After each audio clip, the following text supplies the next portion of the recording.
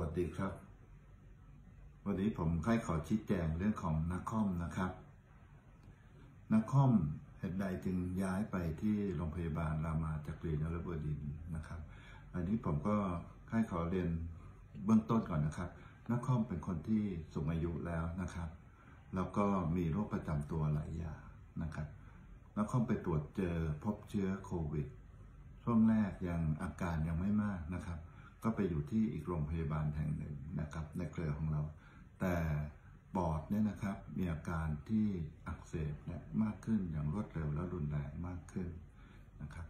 จึงได้ย้ายมาที่โรงพยาบาลวิพารามนี้ ซึ่งเรามี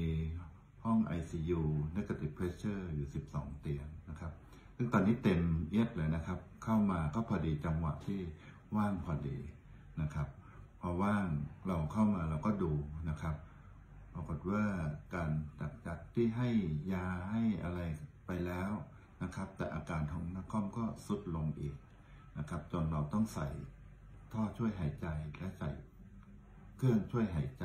นะครับทำร้ายนะครับเมื่อวานยังมีภาวะของไตที่วายเจ็บพลันอีก เราก็เลยต้องทำแบบฉุกเฉินเลยนะครับ ก็คือทำแบบฟอกเลือดนะครับ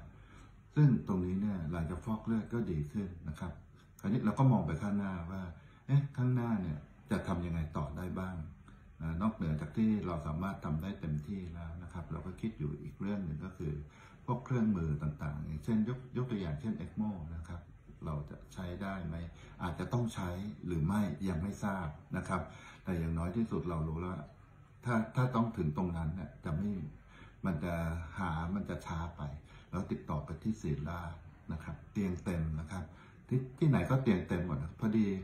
โชคดีได้ที่รามาจักรีนรบดินทร์นะครับ เป็นจังหวะที่คนไข้ออกไปพอดีนะครับ แล้วอันนี้ก็สามารถจะเข้าไปได้พอดี อันนี้ก็เป็นจังหวะของของการ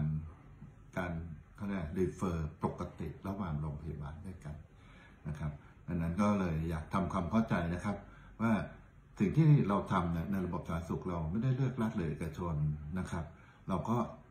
ทำที่ไหนพอถึงเวลาที่จะทำศักยภาพให้ได้มากขึ้น ให้ได้เต็มที่กับคนทุกคน